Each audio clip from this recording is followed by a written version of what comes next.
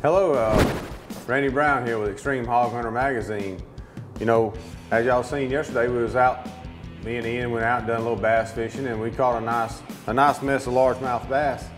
And uh, Ian asked me to get with, uh, uh, come on here and just, just show you how, how to fillet a fish and how to get it pre uh, prepped for, for cooking and, and, and eating your harvest. Um, here we have some, they're not extremely large large bass, but they are a, a largemouth bass that, that come out of our lake here at Enon. But it's very important to manage your pond. So a lot of people say, man, them little fish throw them back. Well, well, the pond can get overpopulated. So you really have to manage your lake just like a deer hunter manages his property. So we'd like to take under 15 inches and under out. So the large ones will have more, more room to grow. So what we're gonna do is I'm gonna go through step by step show you how to fillet these fish. And then uh, we'll get them good and seasoned up and tomorrow maybe we'll show you how to cook them and how to enjoy the how to enjoy your meal. What you want what you want to do is just come in right behind the gill plate there. Don't press down real hard, just let your knife do all the work for you. And as you see it, it's it's it's an electric knife, so it's gonna go pretty easy. But when you hit your bones, it's gonna wanna stop. So once you hit your, once you hit your backbone of the, of the, of the fish, you just wanna just keep your knife running at the same time and roll, roll the blade up with a, keep you just a constant pressure on it. Just kind of work it side by side. Keep it pressed up against the rib cage and the backbone. And you're gonna cut right through that. Right through them ribs and just, if it won't go, don't force it. Just work your blade and let, let the blade do its work. And when you get down in this, this, this area here, you don't wanna just cut all the way through. You wanna leave the skin on there. So when you get right here, you can see I stop. You just you can just roll this over and let it, let it fall. And then grab your fish, grab your fish by his head and just go down to that skin and let it work. Just let it work slow and pull, pull slightly, let the knife do the work. Don't really, don't force it real hard. And as you can see, there's no meat on the skin and there's nothing but fillet here. So once you got that, to get it completely boneless, this, this is your rib cage here. So all this will be boneless. So what you'll do then is just come down below your bones where your ribs stop, cut in there, turn your knife at a little angle to just follow, follow the rib cage through like this.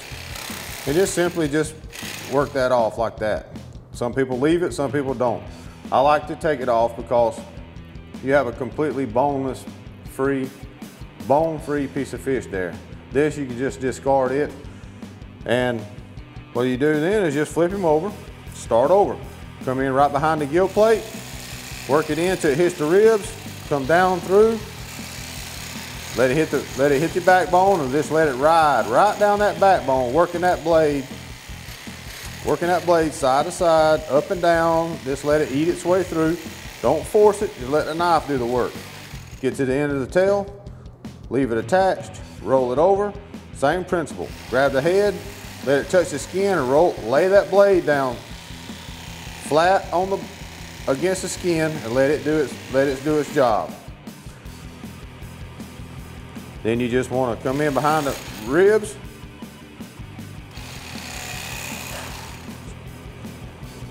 Slightly move, slightly just slice that rib cage off. There's not much meat there. You can eat it if you like, but mostly bones. And there you have it. All our nice catches cleaned. A lot of nice boneless fillets here. Wonderful, wonderful eating largemouth bass. All right, as you have you been with us through this whole thing, you know we caught some caught some nice bass here at Enon, and I went over with you, showed you how to fillet them out. So now our next step is the most important: feed the belly. So what we've done, we just got some regular fish batter here. We got our fish fillets here. We're all washed up. We've had them sitting in water all day. So we got them out and washed them up a little bit. Bought us some, some nice fish batter there from the store, just your preference, whatever kind you like. We got our grease good and hot, just over here. So what you're gonna do is just drop that, drop that fillet down in that batter. Roll it over a couple bit, couple little bit there, a couple times.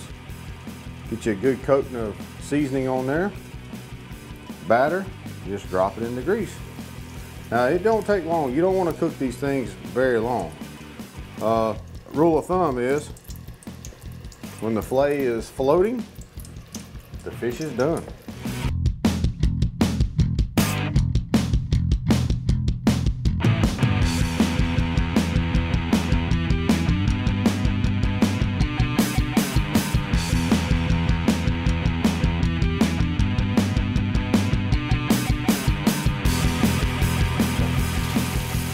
What we do, we got a we got half of them there, just regular, just in the regular batter well. Some of it's like a little spice. So, what we're gonna do, got some little Cajun season there.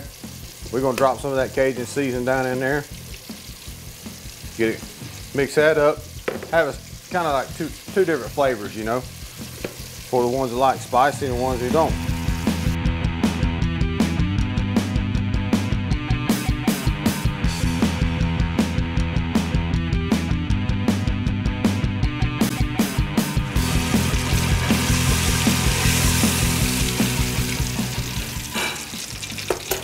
And there you go. Fresh fried Enon filleted bass. And that is your redneck kitchen tip of the day. Yeah, second. This fish then? That's it. Let's see what you taste this, test. this feels heavy. This must be one I caught. Uh, nah.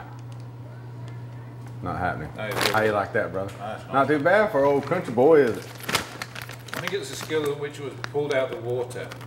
Yeah, that could have something to do This with is it. an expertly caught fish. We'll go with that. We'll go with that. Let's do that.